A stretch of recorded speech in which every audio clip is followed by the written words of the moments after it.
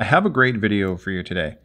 I needed some ultra thin parallels for the next job I'm doing in the shop. And it so happens, like all of us, we have a bunch of files that are kind of busted up and not that great.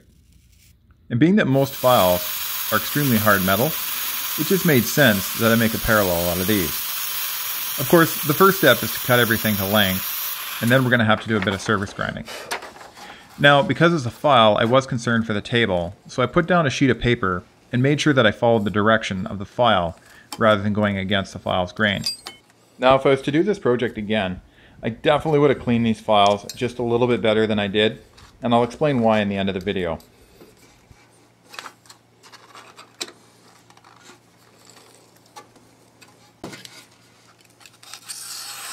Now, because these two files are two different manufacturers, they were slightly different in thickness. Not by much, but just enough to be a large problem with a surface grinder if you didn't get it correct. Now if you listen really close, you'll probably hear it touching a burr in there.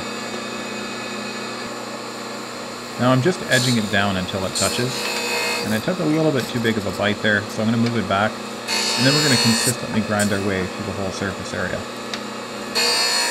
It's pretty cool as I'm grinding. You can see on the paper how the paper is picking up the metal dust on the magnet.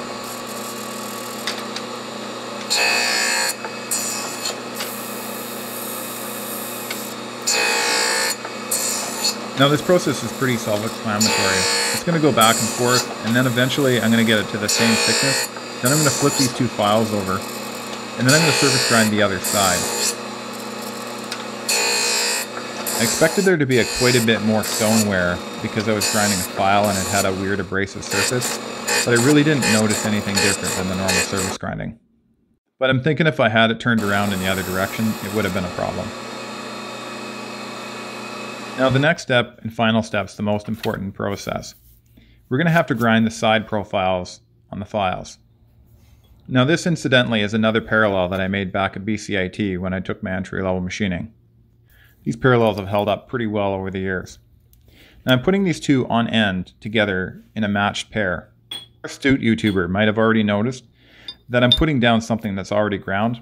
I did have a problem with my camera so I had to go back and kind of show you the process of holding them down. The washer on the end I found was important, so the two files didn't go shooting out the end. Now just like the other process, I went back and forth and then flipped them upside down and took the paper out. There's one small difference in this whole process, is because I'm only ever using them on their edge, I had to be very careful not to heat them up. This process is the rough grind, where I'm taking a little bit more material than I probably should, but I am going to go back and take some final cuts. What's not shown here is, I did go back and take a couple final passes of a half thou before I took them out and measured them. This is important because I took the distortion from the heat out of the material and I don't want to be measuring something that's distorted.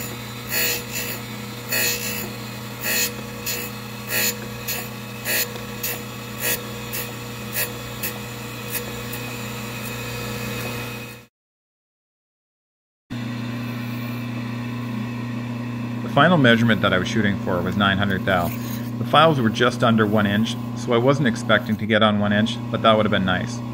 Now when I'm taking the measurement, it came out to 914 thou.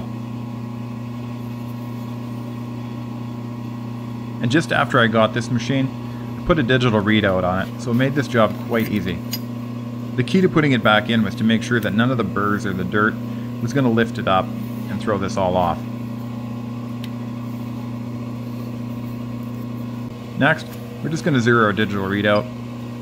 Then we're going to take a really fine pass across the top just to make sure that nothing's out. I kind of usually hover just over the top. That way, if there's a speck of dirt or a hair or something like that, you'll start to see a bit of grinding. What I did notice was I had a bit of a banana shape in the metal, a little bit of heat distortion, and I was going to have to take that out here. Turned out the distortion is only about maybe a quarter of a thousandth of an inch. These aren't tool room parallels, and I'm really only shooting for maybe a quarter of a thou tolerance on it. How I knew that it was only about a quarter of a thou out is I marked this whole thing with black marker, and then I'm going to keep grinding until all the black mark is gone. Now this digital readout that I bought was $300, and it comes down to a hundredth of a thousandth of an inch. And I think that's pretty spiffy. I mean, I'm never going to go that accurate, but it definitely is accurate up to a tenth of a thou. Hey, and while you have a couple seconds while you're watching this finish up, maybe hit the subscribe button and check out some of my other videos after this one. I think you're really going to enjoy them.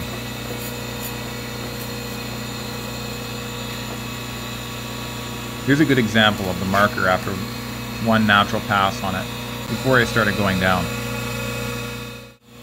Unfortunately not shown in the video was the rest of me working the way down take the black marker out. However, I think you get the idea of it. If you have any more questions about it, please put it in the comments below, and I'll do my best to answer your questions. There is a critique at the end of this video, so definitely hang on till the end if you're interested to see some of the things that I could have done better or maybe when you do one, you won't make the same mistakes. Now, it was definitely coffee time after rough grinding it.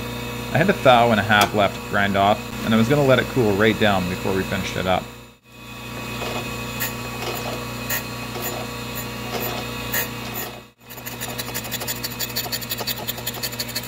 And now for the final reveal. It worked out quite adequate, now I had to stone off the surfaces to take off the, the very sharp hairline burr that was on the edge, and then we were going to measure. Now the final result isn't too bad. I'm really only two tenths of a thou out, and I'm pretty happy with that. The surface finish on the top and bottom turned out to be fantastic. However, the surface finish that you're seeing that I wrote on, not so awesome. Now, the stone definitely could be balanced a little bit better, and it kind of created a bit of a frequency because I was in a bit of a rush to get the sides done. The end result is the two mating surfaces turned out to be perfect. I'm very happy with that. And they'll serve this function quite well. However, when we flip them on their side, you can see where I rushed a bit and got it hot, and we got a bit of bow in the metal. And if it wasn't me rushing through it, it could have been shimmed up a little bit better because perhaps the file might have already been bent.